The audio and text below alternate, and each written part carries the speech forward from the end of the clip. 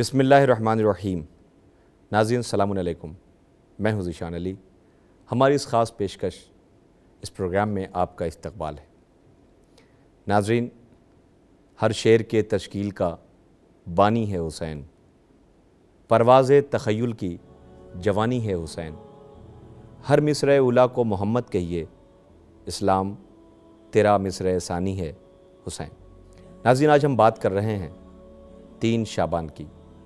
تین شابان سن چار ہجری۔ یہ وہ معتبر تاریخ اور یہ وہ عظیم تاریخ ہے کہ جب کائنات میں اہل بیت رسول اور پنجتن پاک کی تکمیل ہوئی۔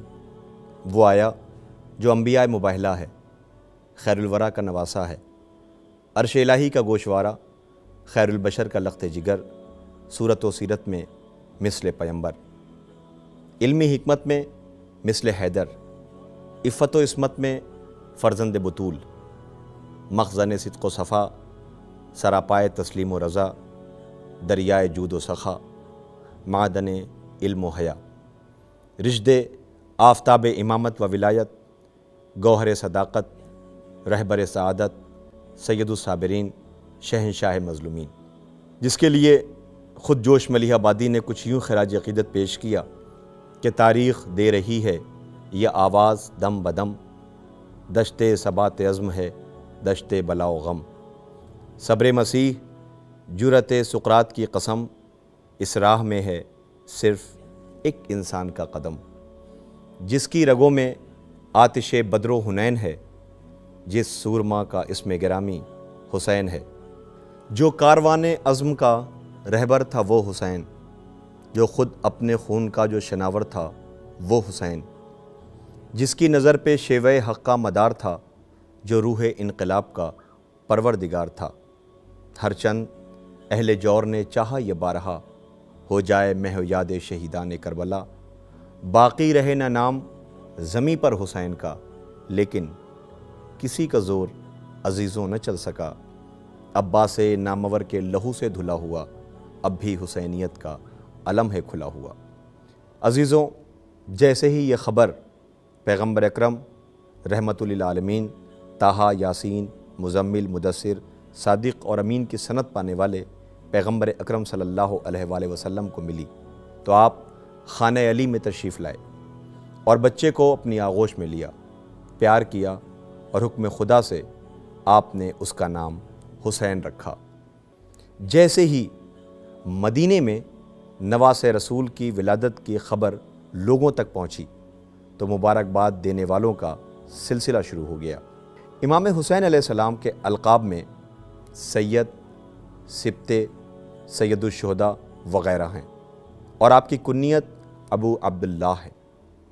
ناظرین، آئیے امام حسین علیہ السلام کی ولادت کے اس پر مسرت موقع پر ہم سب مل کر اپنے وقت کے امام امام زمانہ علیہ السلام کی خدمت میں مبارکباد پیش کرتے ہیں۔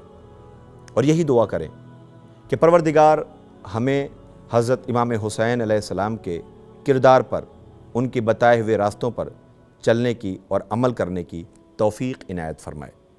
جس طرح سے حضرت امام حسین علیہ السلام نے حق کے لیے باطل کے آگے سر نہیں جھکایا، اسی طرح ہم بھی حق کے راستے پر چلتے رہیں۔ ناظرین، حضرت امام حسین علیہ السلام کائنات کی وہ عظیم شخصیت ہے کہ جنہوں نے خدا کے لیے بلکہ خدا کے دیے گئے ہر حکم پر اس طرح عمل کیا کہ اگر تاریخ کا جائزہ لیا جائے تو ملے گا کہ حکم عبادت پر آخری سانس تک زبان سے ہی نہیں اپنے عمل سے درس دیا۔ یوں کہہ دوں، کسی شاعر نے کیا خوب کہا ہے، ہزار سجدے زمین حرم پہ ہوں لیکن حصول روح عبادت نہیں تو کچھ بھی نہیں۔ بتا دیا ہے، نبی کے طویل سجدے نے۔ حسین، تیری محبت نہیں تو کچھ بھی نہیں۔ وہ اس لیے کہ اے حسین ابن علی، فخر عبادت تم ہو۔ تم نے اللہ سے یہ شان، یہ الفت لے لی۔ موت فرصت کہاں دیتی ہے کسی کو، لیکن تم نے سجدے کے لیے موت سے فرصت لے لی۔ حضرت امام حسین علیہ السلام نے عبادت کے لیے ہی ایک شب کی مہلت مانگی تھی۔ اور آپ وہ ہیں کہ حکم تقوی پر سراپا تقوی بنے رہے اور حکم خدا کے لیے اپنا بھرا گھر لٹا دیا اور اپنی قربانیوں سے یہ روشن کر دیا کہ جہاد کا مطلب کسی کو مارنا، کسی کا سر قلم کرنا، کسی کا گھر اجاڑنا یا جلانا نہیں ہے، بلکہ جہاد حق کے راستے میں آنے والی ہر مصیبت کو صبر و شکر کے ساتھ برداشت کرنا ہے۔ جہاد راہ الہی ہے۔ ناظرین، آج کی تاریخ میں ہم حضرت امام حسین علیہ السلام کی زندگی پر نظر ڈالتے ہیں، جو کہ وارث انبیاء ہیں، محافظ اسلام ہیں، اسلام کے ذمہ دار ہیں، اوصاف انبیاء کے آئینہ دار ہیں، اسلام کی تبلیغ کرنے والے ہیں۔ کمالات الہی کا مظہر ہیں۔ جیسا کہ سورہ بقرہ کی آیت نمبر ستھتر میں ارشاد ہو رہا ہے۔ اور وہ لوگ جو پریشانیوں میں، بیماریوں میں اور جنگ کے وقت صبر کرتے ہیں، وہی سچے ہیں اور وہی پرہیزگار۔ سورہ بقرہ آیت نمبر ستھتر اور سورہ آل عمران میں ارشاد ہو رہا ہے کہ کیا تمہارا یہ خیال ہے کہ تم جنت میں یوں ہی داخل ہو جاؤ گے؟ جبکہ خدا نے تم میں سے جہاد کرنے اور صبر کرنے والوں کو بھی نہیں جانا۔ سورہ آل عمران آیت نمبر ایک سو بیالیس۔ تو ناظرین حضرت امام حسین علیہ السلام دنیا کی وہ عظیم ہستی ہیں کہ جنہوں نے رہتی دنیا تک ہر انسان کو ظلم سے ٹکرانے کی طاقت دی ہے، جینے کا سلیقہ سکھایا ہے۔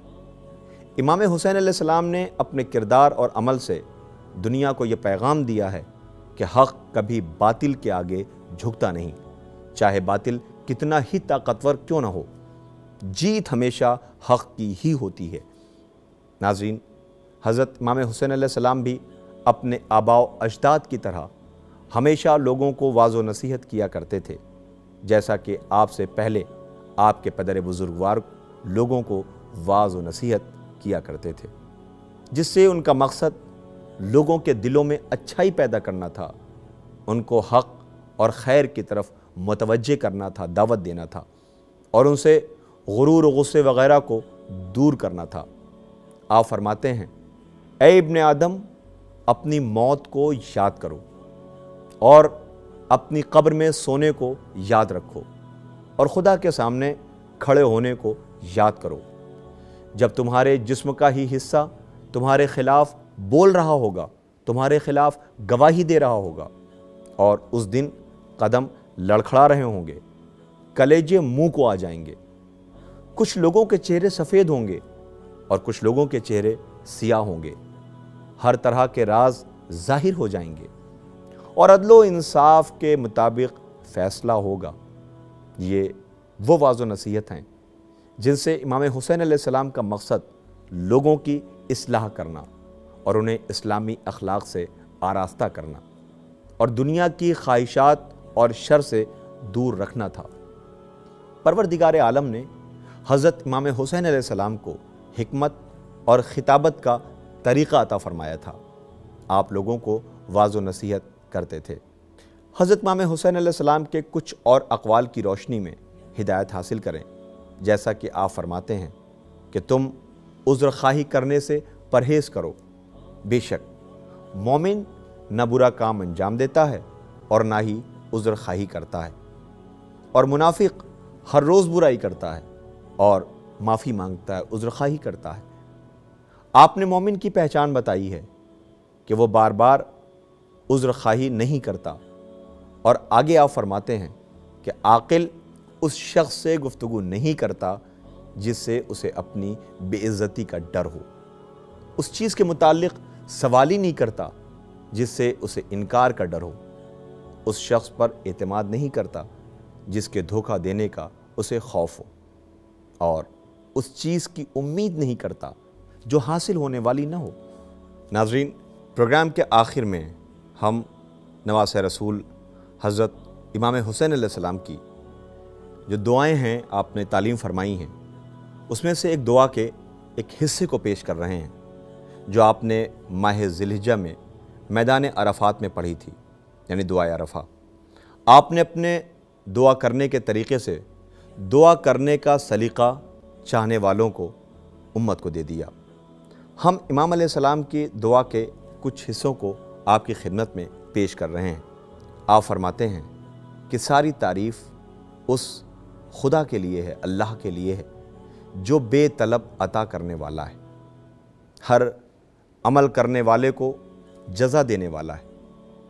ہر قناعت کرنے والے کو صلہ عطا کرنے والا ہے۔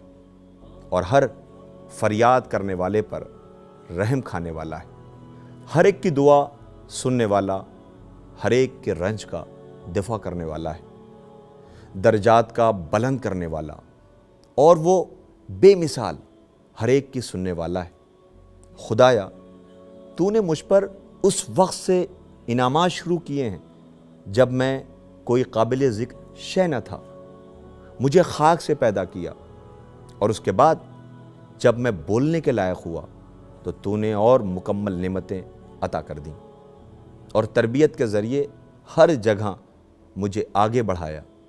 یہاں تک کہ جب میری فطرت کامل ہو گئی، پھر جب ساری نعمتوں کو مکمل کر دیا اور بلاؤں کو دفع کر دیا، تو بھی میری جہالت اور میری جسارت تجھے کرم سے روک نہیں سکی۔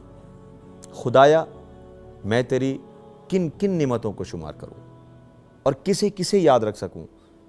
جبکہ ساری نعمتیں بڑے بڑے شمار کرنے والے بھی شمار نہیں کر سکتے۔ خدایا، مجھے ایسا بنا دے کہ میں تجھ سے اس طرح ڈروں جیسے تجھے دیکھ رہا ہوں۔ تو ناظرین، حضرت امام حسین علیہ السلام کی دعائیں ہمیں پیغام دے رہی ہیں کہ ہم خدا کی نعمتوں کو دھیان میں رکھیں اور غور کریں۔ اس نے ہمیں بے شمار نعمتیں دی ہیں جو شمار نہیں کی جا سکتی ہیں۔ لہٰذا ہر نعمت پر خدا کا شکر ادا کرنا چاہیے اور ہمیشہ خدا سے ڈرتے رہنا چاہیے۔ امام کی انہی دعاؤں کے ساتھ ہمارے پروگرام کا وقت ختم ہوتا ہے اور جاتے جاتے ہم یہی دعا کریں گے کہ پروردگار ہمیں دعا کرنے کا سلیقہ عنایت فرما اور ہماری دعاؤں کو قبولیت کے درجے پر پہنچا۔ اسی کے ساتھ ہمیں اجازت دیجیے ہماری پھر ملاقات ہوگی۔ تب تک کے لیے خدا حافظ۔